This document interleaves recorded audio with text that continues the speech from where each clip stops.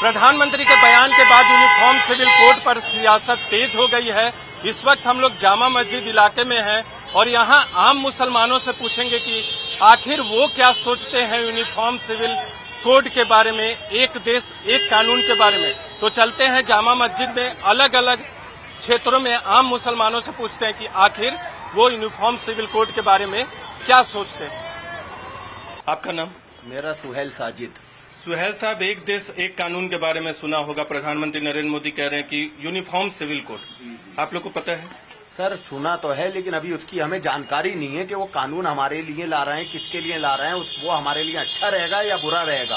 वो तो जब तक जानकारी नहीं होगी तो कैसे हम कमेंट कर सकते हैं आपसे? अब तक क्या सुना है आपने? भाई यही सुना है कि एक ये कानून ला रहे हैं यही सिविल के सबके ऊपर एक देश, एक कानून रहेगा, लेकिन वो अगर हमें अभी पूरी उसकी जानकारी नहीं है कि उसके लिए क्या कानून है और ये किस उसके लिए मुस्लिम्स के लिए नॉन मुस्लिम्स के लिए तो इसकी अभी हमें कोई जानकारी है नहीं। एक बात प्रधानमंत्री ने की आपने कहा कि यूनिफॉर्म सिविल कोड। प्रधानमंत्री ने यह भी कहा कि एक घर में दो कानून नहीं हो सकते। उन्होंने ये भी कहा कि विपक्ष की पार्टियाँ जो हैं मुस्लिम समुदाय को भड़काने का काम करते हैं इस मसले पे। ऐसा आपको लगता है? आप तो इसे समुदाय से आजकल जो है सब समझदार हो चुके हैं।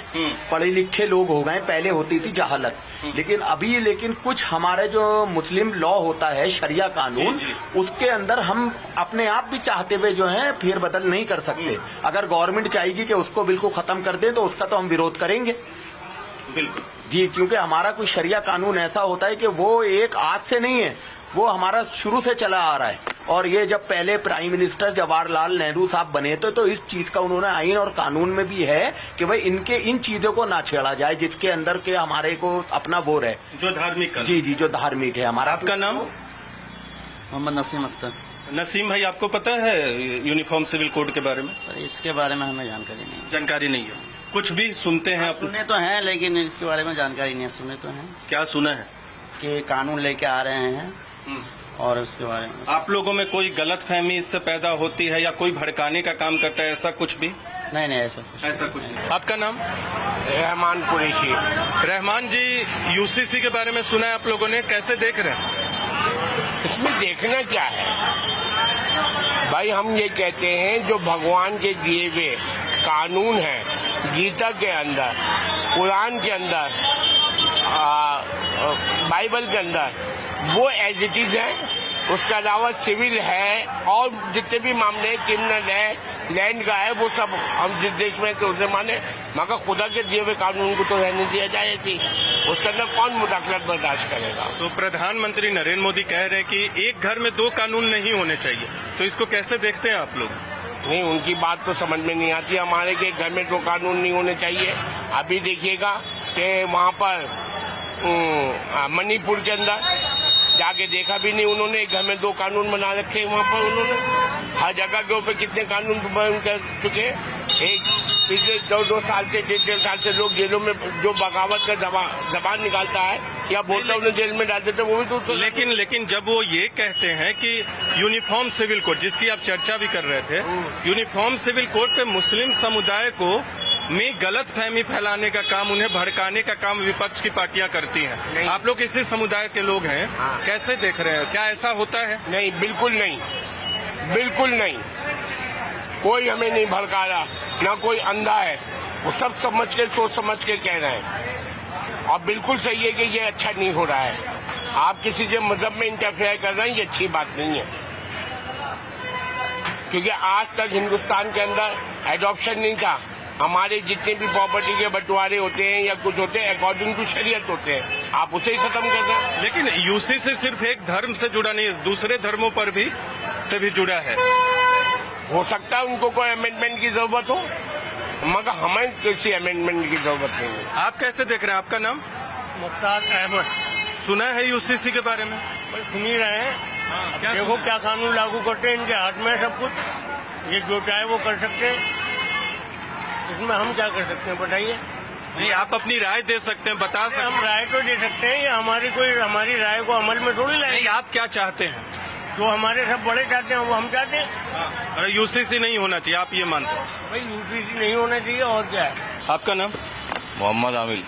मोहम्मद साहब यूनिफॉर्म सिविल कोड एक देश एक कानून की चर्चा हो रही है। आपने कुछ सुना है इस बारे में? नहीं अभी नहीं कुछ नहीं। क्या आप लोग को भड़काया जाता है इस मसले पे यूनिफॉर्म सिविल कोड पे विपक्ष की पार्टियाँ? प्रधानमंत्री ने ये विपक्ष की पार्टियों पे आरोप लगे नहीं नहीं। ऐसा। क्या आप बताइए। लेकिन होना नहीं चाहिए जो कि जो इधर चल रहा है जो जो कि संविधान चल रहा है उसी हिसाब से सब होना चाहिए। हाँ। कोई दूसरा कानून तो नहीं होना चाहिए। यानी यूनिफॉर्म सिविल कोड के पक्ष में नहीं आप नहीं नहीं। अच्छा ये सही है प्रधानमंत्री जब कहते हैं कि कुछ पार्टियाँ आप लोग को भड़काती हैं। इसमें कुछ दम है? टांग भड़ जाएँगे उनके सारे बयान गलत हैं तो उसमें कोई- कोई कर सकता है। तो आप लोग नहीं चाहते कि ये कानून है जी। जी हाँ। नहीं चाहते। आपका नाम? Alam. Alam ji uniform civil code की चर्चा चल रही है। आप लोग को जानकारी है? नो। एक और कर दे। आज एक देश एक कानून जिसे कह रहे हैं। हमें तो कोई प्रॉब्लम इसकी नहीं। है। चल छोड़ दे। हमें इसकी कोई नॉलेज नहीं है। कोई नॉलेज नहीं है। रहने दे। तो चलिए प्रधानमंत्री कहते हैं कि यूसीसी पे मुस्लिम समुदाय को विपक्ष की पार्टियाँ भड़काती है इसलिए हम आपकी राय जानना चाहते हैं। इसलिए इस बारे में अगर हमें नॉलेज होगी तो हम ज़रूर बोलेंगे। आपका नाम? Rashid. Rashid ji uniform civil code की बहुत चर्चा है। आप जामा मस्जिद इलाके में रहते हैं। आपने सुना है और क्या सुना है? भाई देखो ये तो कानून गलत है। हम्म। कानून हर मज़हब के हिसाब से होना चाहिए। जी। लेकिन ये जो सब एक मिला के एक कर देंगे तो ऐसे कानूनी तो झगड़े होंगे फिर। झगड़े होंगे। लेकिन प्रधानमंत्री कहते हैं कि मुस्लिम समुदाय को बरगलाने का काम भड़काने का काम विपक्ष के दल करते हैं। हाँ, काम तो सभी कर रहे हैं। वो मुसलमान तो सबके नाम पर मुसलमान चढ़ाओ जो मुसलमान का नाम ले, लेता है वही तरक्की पा जाता है। ये इस मुल्क में तो हमारे यही होता है। जो मुसलमान का नाम लिया वही तरक्की पा गया। जैसे? जैसे सारी पार्टियाँ। हाँ, हिंदुस्तान की सारी पार्टियाँ। हाँ, मुसलमान पे हाथ रखा और कामयाबी की सीढ़ियाँ पकड़ ली। हाँ। ऐसा आप सोचते हैं? ऐसा नहीं ऐसा होता है सोचना तो बहुत दूर है। ऐसा ही होता है। हाँ। आपका नाम? मेरा नाम अतीकुर रहमान। रहमान साहब यूनिफॉर्म सिविल कोड के बारे में सुना है? बिल्कुल सुना सर। क्या सुना है क्या समझते हैं? सर ये जो है ये एक पॉलिटिकल ये जस्ट लाइक ए जिसे कहना चाहिए कि लास्ट ईयर चल रहा है। और इसके बाद चुनाव आने हैं ये दस साल पहले भी यही आवाज़ उठाई गई थी। आज फिर वही आवाज़ है क्योंकि अब इनके पास कोई मुद्दा बचा नहीं है। ग्राफ पॉलिटिकली इनका गिरता जा रहा है। उसके अकॉर्डिंग उन्होंने क्योंकि अब हिंदू मुस्लिम से लोग परेशान हो चुके हैं तो अब एक नई चीज़ एक नया इशू जिसको उन्होंने अरेज किया है। हमारे प्राइम मिनिस्टर साहब बहुत बहुत समझदार हैं बहुत ज़्यादा समझदार हैं। और जैसे कि नौ साल में उन्होंने सिर्फ़ दो ही क्वेश्चन लिए वो भी अमेरिका जाके। क्योंकि हिंदुस्तानियों के सवाल का जवाब देना नहीं है उन्होंने। वो भी अमेरिका के लोगों का ये आप कह रहे हैं कि बहुत समझदार हैं तो और ये भी कह रहे हैं कि दसवें साल में ये फैसला हुआ है तो यूनिफॉर्म सिविल कोड के बारे में वो कहते हैं कि एक घर में दो कानून नहीं होना चाहिए। एक घर में तो एक हज़ार कानून है सर। हमारे यहाँ विविधता इतनी है कि हमारे ट्रैवलर्स ट्रैवल्स है सारी चीज़ें सबके अलग अलग कानून है। हमारे यहाँ आपका मणिपुर के अंदर तीन सौ छप्पन क्यों है? तीन सौ इकहत्तर क्यों था? तो जब हमारे यहाँ सारी चीज़ें हैं और लॉ कमीशन के अंदर बैठ के सारी चीज़ें तय हुई हैं तो लॉ पहले लॉ कमीशन को तो पढ़ ले प्राइम मिनिस्टर साहब एक एक पन्ने को। अगर प्राइम मिनिस्टर साहब एक एक पन्ने को पढ़ के अपने आप समझ जाएँ तो फिर बात लेकिन वो कहते हैं कि इस मसले पे मुस्लिमों को भड़काने का काम करते विपक्ष की पार्टी देखिए आप कोई भी कानून बना दिए हम नहीं मानेंगे। हम अपनी शरीयत को नहीं छोड़ सकते। जो हमारे मजहबी मामले हैं उनको हम अपने कानून के हिसाब से मानेंगे। हम नहीं मानेंगे उसको इंडिया के कानून से। हमको अपना इंडिया का कानून मानेंगे जो सिविल लाइफ है हमारी। लेकिन मजहबी लाइफ में हम इंडिया का कानून नहीं मानेंगे। वो हम मानेंगे अपनी शरीयत का कानून। बस जैसे। मतलब धार्मिक मामलों में धार्मिक कानून धार्मिक मानेंगे और भारत का कानून सिविल मामलों में। बिल्कुल बिल्कुल बिल्कुल। जो हमारी रोज की लाइफ है उसके अंदर हम इंडिया के कानून को मानेंगे और मानते हैं और मानते आए हैं। बाकी धार्मिक। धार्मिक कानून में नहीं मानेंगे। अच्छा इस मसले पे आप लोग को विपक्ष की पार्टियाँ भड़काती हैं। हमारे को कोई नहीं भड़काती। कोई नहीं भड़का तो हम, हम क्या समझदार नहीं है? हमको एक अनाज नहीं खाते जो कि हम दूसरे के कहने पे भड़क जाएँगे। आपका नाम? मोहम्मद शाकिर। मोहम्मद साहब क्या सुना है आपने? पहले तो ये बताइए। भाई यही सुना है कि इलेक्शन करीब आ रहा है अगले साल इलेक्शन है। अब इलेक्शन आ रहा है तो सब पार्टियाँ अपने अपने जोड़ तोड़ में लगी हुई हैं। और रूलिंग पार्टी जो हमारी है बीजेपी भारतीय जनता पार्टी उसको लगता है कि अब उनके पास एक यही आखिरी मुद्दा बचा है। इसको लाके हम समाज को बांट के और अपना उल्लू सीधा करेंगे और हुकूमत बना लेंगे। लेकिन अभी का आपने कहा कि हिंदू मुस्लिम अब नहीं चल रहा या हो गया। हिंदू मुस्लिम कार्ड नहीं चल रहा था क्यों नहीं चल रहा? नहीं चल रहा ना अब क्योंकि लोग समझदार हो गए। आज सौ रुपए किलो टमाटर बिक रहा है अभी। प्राइम मिनिस्टर साहब बोले अभी तक कुछ। आज सौ रुपए किलो टमाटर बिक रहा है साठ दिन से मणिपुर जल रहा है 130 लोग मर चुके हैं। प्राइम मिनिस्टर साहब के मुँह से आवाज़ नहीं निकली अभी तक। निकली आप आप बताइए हाँ ना में जवाब दीजिए मुझे। नहीं निकली ना? आप वो मीटिंग हुई उस पर मीटिंग अरे हुई मीटिंग होने से आपने ऑल ऑल पार्टी मीटिंग्स बुला के आज तक आपने ये नहीं कहा कि भाई इसके ऊपर कोई अपील की जाए। आज तक प्राइम मिनिस्टर ने करा कुछ? साठ दिन से जल रहा है साठ दिन। 130 लोग मर चुके हैं हिंदुस्तान के मणिपुर के। हज़ारों लोग बेघर हैं कैंपों के अंदर हैं। आप और कुछ कहना चाह रहे हैं? हैं? आप और कुछ कहना चाह रहे हैं? वही तो। मतलब हिंदू मुस्लिम नहीं चल रहा है। जी आप कुछ कह रहे हैं। कार्ड तो खत्म हो गया सर अब नहीं देखिए सर सबसे पहले तो आज हमारा त्यौहार का वक्त है ईद है। हाँ। सबसे पहले हम अपने सब भारतवासियों को सब हिंदुस्तानों को हिंदुस्तान वासियों को ईद की बहुत बहुत मुबारकबाद देना चाहते हैं। और उसके बाद जैसा आपने पूछा कि भाई अब ये आपने कुछ सुना इस बारे में तो हमने सुना यही है कि अगले साल इलेक्शन है और सब पार्टियाँ लग गई हैं इलेक्शन जीतने के लिए। भारतीय जनता पार्टी को लगता है कि अभी उनके पास आखिरी कार्ड यही है। और ये क्या इसको बोलते हैं? लेकिन आप कह रहे हैं कि भारतीय जनता पार्टी को बहुत सारी ऐसी पार्टियाँ हैं जो आज की तारीख में विपक्ष में है। चाहे आम आदमी पार्टी हो शिवसेना उद्धव ठाकरे हो जेडीयू हो वो लोग भी सैद्धांतिक तौर पे मानते हैं कि हाँ ये कानून हो सकता लेकिन उन्होंने साथ में ये भी कहा है कि पहले आप सारे समाजों से बैठ के डिबेट कीजिए। बिल्कुल। ऐसे भी कहा है ना आज ये आप, आप अगर आप डिबेट नहीं करेंगे आप सारे बुद्धिजीवियों से मिलकर बात नहीं करेंगे और आप ये डिक्लेयर कर देंगे कि हम ये कर रहे हैं तो अपने आप ही एक आंदोलन शुरू होगा। आप क्या कह नहीं सबसे बड़ी बात यह है कि अभी तक जितना हम जानते हैं जो हमारा संविधान है बाबा साहब अंबेडकर ने जो बनाया था उसमें एक मूलभूत अधिकार ये दिया गया था कि हर कम्युनिटी हर मज़हब अपनी आज़ाद है अपने मजहबी रिवायत को निभाने के लिए। और हमारा हिंदुस्तान इतना बड़ा मुल्क जहाँ हर 50-100 किलोमीटर के बाद जबान बदल जाती है कल्चर बदल जाता है तो आप ये कैसे सोच सकते हैं कि हम 140 करोड़ आदमियों को एक ही लकड़ी से हाथ देंगे और एक ही बात मानने के लिए मजबूर कर देंगे?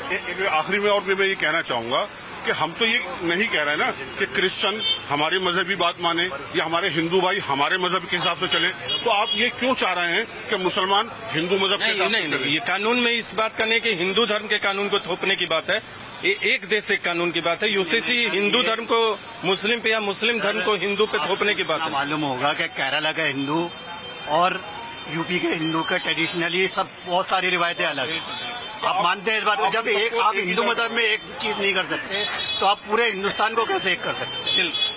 आप समझने की कोशिश करें इस बात ये पॉलिटिकल एजेंडा है नथिंग मोर इसे टोटल पॉलिटिकल एजेंडा क्योंकि ये इलेक्शन ईयर है। बस कैसे? यूनिफॉर्म सिविल कोड के बारे में क्या सुना है? लागू होना चाहिए? नहीं होना चाहिए। सबको अपना अपना मज़हब पर चलने का अधिकार है। नहीं होना चाहिए।